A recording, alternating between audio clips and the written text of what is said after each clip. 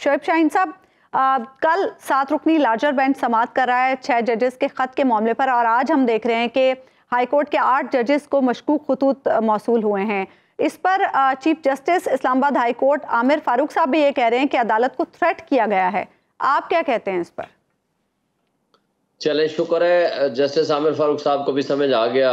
देर आयात, दुरुस्त आयात की अदलिया को वाकई थ्रेट किया जा रहा है, जो पिछले एक साल या दो साल से थ्रेट किया जा रहा था। वो तो उनके नॉलेज में था, उन्होंने कोई एक्शन नहीं लिया। आप यहाँ से आप अंदाज़ा लगाएँ, जो कुछ हो रहा था, पिछले साल दो जज साहबान ने फैसला लिख दिया और जस्टिस आमिर फारूक साहब ने उनके खिलाफ लिखा इमरान खान के। तो उसके बाद उनके ऊपर जो प्रेशराइजिंग टेक्टिक्स इस्तेमाल हुए, एक जज को, भाई को बरदर नस्बती को उठाया गया, उनको इलेक्ट्रिक शॉक्स लगाए गए जजेस के घर में धमाके किए गए क्रैकर्स फेंके गए। तो ये सारे ख़त का हिस्सा है ना?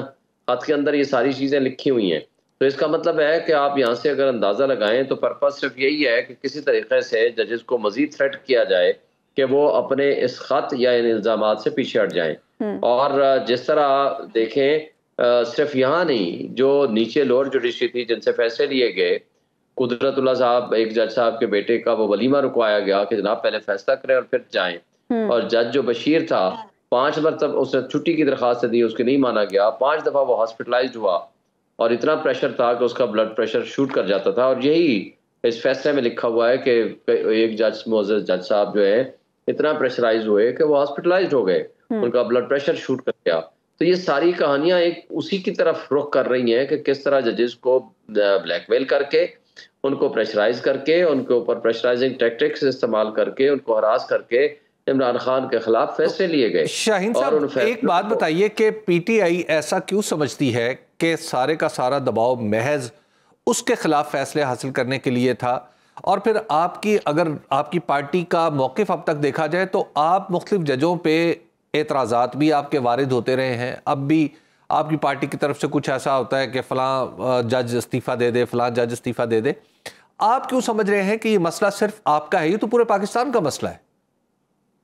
देखिए, बिल्कुल पूरे पाकिस्तान का मसला है, मगर किस पार्टी को डिस्पेंटल करने, किस लीडर को जेलों में डालने, किस लीडर को पोलिटिकली विक्टमाइज करने के लिए सारी इंतजामिया और सारी इस्टेब्लिशमेंट लगी हुई थी। मुझे बताएँ ना प्रेशर तो उस पर डाला जाएगा ना कि जिसके नापसंदीदगी होगी, जिसकी कबूलियत नहीं होगी, क्योंकि जिसकी तो कबूलियत है, उनको तो फॉर्म 47 में फॉर्म 45 में फुर्जी करके भी उनको मुसलत कर दिया गया।